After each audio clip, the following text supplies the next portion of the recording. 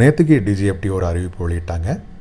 ஒரு குறிப்பிட்ட பொருளுக்கு இறக்குமதி கட்டுப்பாடு உடனடியாக விதிக்கப்படுது. இது உடனடியாக அமலுக்கு வருது அப்படின்னு அந்த நோட்டிஃபிகேஷனில் இருந்தது. அது என்ன பொருள் அப்படின்னா சிகரெட் லைட்டர் தயாரிக்கிறதுக்கான உதிரி பாகங்கள் ஸ்பேர் பார்ட்ஸ் இதை நம்ம சைனால இருந்தும் ஸ்பெயின்லேருந்தும் ஸ்பெயினில் இருந்தும் யுனைடட் அரப் எமிரேட்ஸ்லேருந்தும் அதிகமாக இம்போர்ட் பண்ணுறோம் எவ்வளோக்கு இம்போர்ட் பண்ணுறோன்னு கேட்டிங்கன்னா உங்களுக்கே ஆச்சரியமாக இருக்கும்.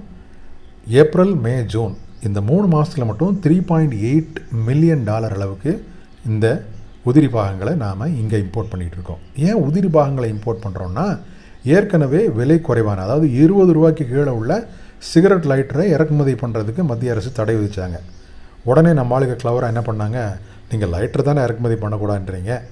நான் உதிரி பாகமே இறக்குமதி பண்ணி இங்கே அசம்பிள் பண்ணிக்கிறேன் அப்படின்ட்டு இந்த மாதிரி வேலையை ஆரம்பித்தாங்க இப்போ அதுக்கும் கட்டுப்பாடு விதிச்சிருக்காங்க. ஸோ இதன் மூலயமா பெருமளவில் உள்நாட்டில் இந்த லைட்டர் உற்பத்தி மற்றும் தீப்பெட்டி தொழில் வந்து பாதிக்கப்படாமல் பாதுகாக்கப்படும் அப்படின்னு ஒரு நம்பிக்கை அப்படின்னு மத்திய அரசு சொல்லியிருக்காங்க.